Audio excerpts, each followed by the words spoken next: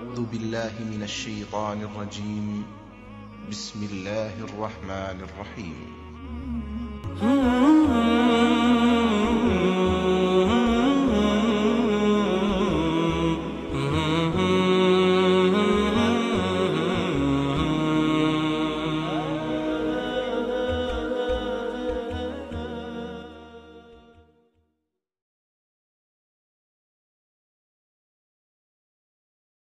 সালাম রহমতুল্লাহ বরকত ভাই, জানতে চেয়েছেন যে কচ্ছপ খাওয়া হারাম কিনা? এটা একতলাফ বিষয় ভাই।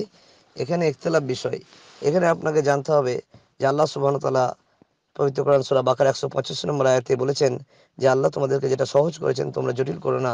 সুরা আনান উল্লেখ করা হয়েছে একশো পঁয়ত্রিশ নম্বর আয়াতে। আল্লাহ সুবাহ তোমাদের জন্য হারাম করেছেন যে ইন্নামা হারাম আলাইকুম মাইতাতা ওয়াদ্দামা আলহামাল খিনজির। ওমা ওহিল্লা বিলিগাইল্লাহ অর্থাৎ তোমাদের জন্য হারাম করা হয়েছে শুকুরের গোস্ত, প্রবাহিত রক্ত এবং আল্লাহ ছাড়া অন্য কারোর নামে যেটা জবাকে সেটা হারাম।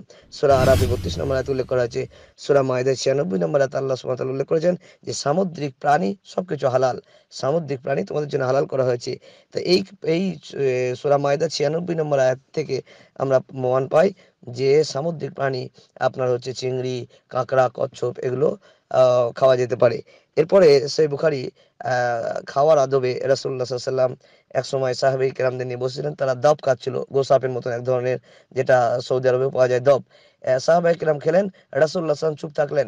তিনি খেলেন না, কিন্তু তাদেরকে যদি হারাম মনে হতো, তাহলে নিষেধ করতেন। তিনি চুপ থাকলেন, অর্থাৎ তেনার চুপ থাকাটাও সম্মতি। তাই বলা হয়েছে যে যদি এটা আপনার পছন্দ হয় আপনি খাবেন, না হলে খাবেন না। এটা যদিও একতেলাপ বিষয়, তারপরেও হাদিস এবং কোরআন থেকে যেটাই প্রমাণ পাওয়া যায় যে সামুদ্রিক প্রাণী হিসেবে এগুলো হালাল আছে।